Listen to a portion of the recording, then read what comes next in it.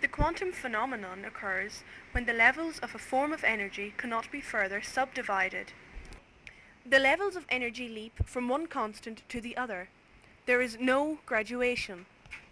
The result of a setup where the output is quantized can be referred to as digital.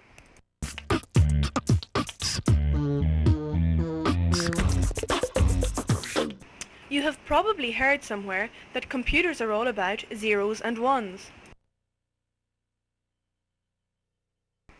Generally speaking, the chips inside the computer perform logical operations on the zeros and ones they receive. Operations such as the logical AND and OR.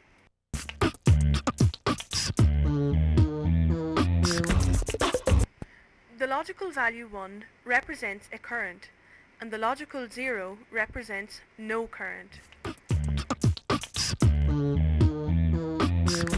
The reason there are only two values is that the voltage levels change over time.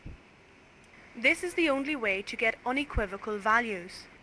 Using quantum physics will make the levels constant.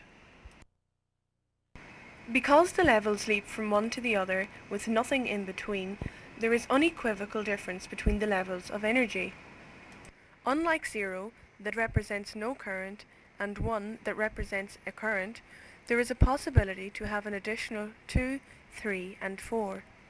Those numbers will represent steady levels of current. Having more than two logical values means that the amount of calculations will be reduced exponentially, hence faster computers.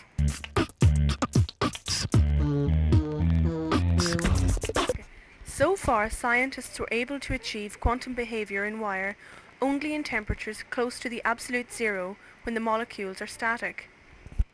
The random movements of the molecules in room temperature affects the charge, hence the current. So far, quantum wires work only under elaborate lab conditions. Research is being conducted around the world on ways to make it practical.